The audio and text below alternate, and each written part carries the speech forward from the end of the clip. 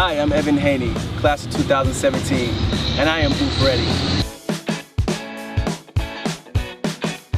When I was thinking about Booth, I reached out to a lot of alums to see how Booth was impactful to their career and you know the different things that they got while they were at Chicago, how to think through problems, how to assess different scenarios. That was really big for me. I think the last thing is Booth's values. Uh, their, their values to social justice are really important to me. My first day of classes, I'm really excited to get to learn more about my classmates. I think the great thing about Chicago is we have so many people from different backgrounds, diversity not just in culture but in experiences, and I'm excited to tap into that.